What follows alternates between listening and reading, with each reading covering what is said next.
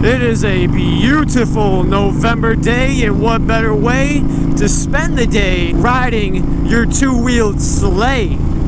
Wait, no, that, that, that wouldn't work with sleigh because it's a month early. It's still November. We still got Thanksgiving to go. Eh, everybody else is skipping to Christmas. Why can't I? The weather's getting colder here in Michigan, and I'm the firm believer of uh, you can ride in the cold. If there's no snow, it's a go. Just dress a little warmer. Spend the money on nice heated clothing, whatever you want to call it, and go out and ride. Uh, just so long as there's no snow on the ground or, uh, you know, ice. Because, uh, yeah, you don't want something bad happening to you and your bike. That would be absolutely terrible. Now, I had somebody ask me the other day, you know, do you ever feel like you get depressed when you just can't go out and ride your motorcycle? For someone like you that rides damn near everywhere they go? And I'm like, uh, you know what? Yeah, you know, he, he said that and it kind of got me thinking. I'm like, you know, does does motorcycles help with depression? And I'm like, God, that's a that's a great video topic. So I think I'm going to talk about that. So the main question being, does riding motorcycles or riding in general help with depression? Now, notice what I'm saying here when I say, does it help with depression? Not cure, because there's no cure for depression. In my humble opinion, I do believe riding motorcycles helps with depression. Now, I'm sure I speak on behalf of a lot of people when they say life in general, or more specifically, and more in my case, 2024 has kicked me so hard in the metaphorical nuts and it just it has not been a good year. Let's just let's just go with that. It just hasn't been a good year at all. Damn near everything I have done and the moves that I have made has fallen face flat in the mud just to pick myself back up and keep going. How I've done that, I have absolutely no idea outside of getting back on my ride and going for exactly that, a ride. Now, I have been uh, what these Gen Alphas call down bad. I've been down bad for quite a while. I have been I've been hurting pretty good. My family's noticed it a lot just everybody around me noticed it you know what i mean? I'm blessed and cursed to be one of those people where if i'm having a bad day the people around me are having a bad day and if same thing with the good with a good day. So yeah it's uh it's it's noticeable when i'm not okay and i haven't been okay for quite some time now i try to be as cheerful and as glass half full as i can with my life because my situation can be better than others. I totally get that but i'm just i'm just thankful for how i got it even though yes it could be better but it sure as hell could be worse. Especially this year when things started to reach a breaking point. I uh, I, I got a lot of anxiety. Well i had a lot of anxiety and uh, I was really unfamiliar or not really hip to the game as far as how to handle that because I never really went through these situations before where it was getting to the point where it was getting hard for me to get out of bed and keep going. You can only, you know, get your ass kicked in a fight so many times before you can't really just get back up anymore and just keep on swinging and you just keep getting knocked the hell out. I noticed myself kind of uh, relying on this motorcycle here when uh, when things got super super rough. So I don't want to give you guys a super big woe is me story. That's not what you're here for. I'm here to give you guys, uh, you know, uh, uh, why do I think riding helps lift your spirits with depression and whatnot, or even anxiety. You know, I just wasn't a pleasant person to be around. I'm no saint, you know. I'm willing to admit humbly that I am not a perfect person, even though sometimes I like to think that I am. For what benefit, I have absolutely no idea.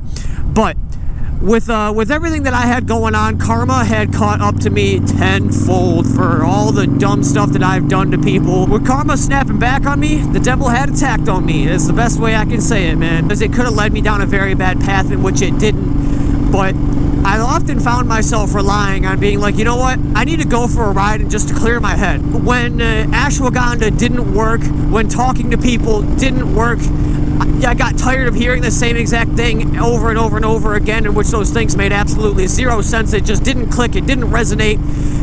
Being behind these bars and traveling these roads up and down and getting out of town and whatnot, I'm, I'm just full of rhymes today, ain't I? But getting out of town and whatnot, and uh, you know, just being behind bars on my bike seemed to be the only thing that helped me out. This may be the only thing that I truly have that lifts my spirits and makes the glass half full, you know what I mean? I don't want to say I necessarily had a way of coping with my depression and anxiety because I didn't truly understand what it was until it reached a breaking point.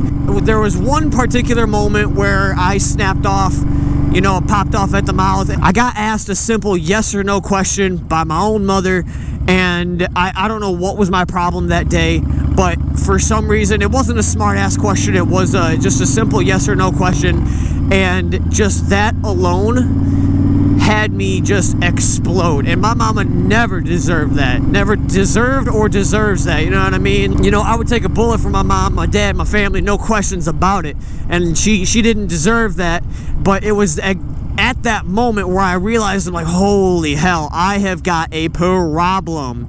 And you know, nobody really wanted to to speak up and say it to me because you know they didn't want to hurt my feelings. So they like they can they noticed something was going on, and yeah, it just got to the point where I was unreachable and I just wasn't myself. I wasn't the rider, man. I wasn't my core self, and. uh you know, I had to I had to really come to grips with uh, how to handle the situation I was in, and how did I do that?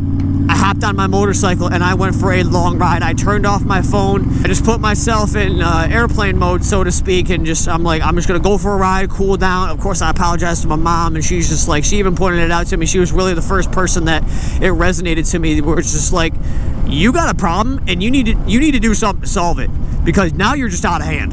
I'm like, okay, I'm like, if my own mama's noticing it, my mama has no reason to lie to me about something that serious with her youngest kid. You know what I mean? And I'm, I'm forever blessed for that because I don't know if there was anyone else, even in my family, that would have got through to me unless she just told it to me like it was. And I'm forever thankful for that.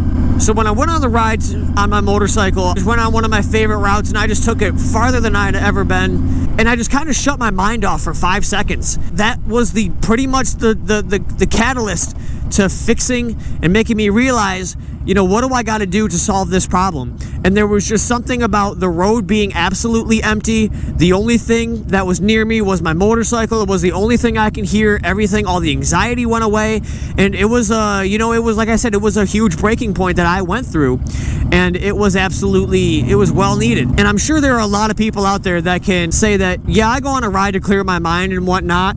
And, you know, some of us are absolutely blessed to have that option and some of us aren't as fortunate. And when it comes wintertime and I got to put the bike away, you know, I'm kind of SOL when it comes to, uh, I need something to clear my mind with that's, you know, not drinking or, you know, something stupid like that.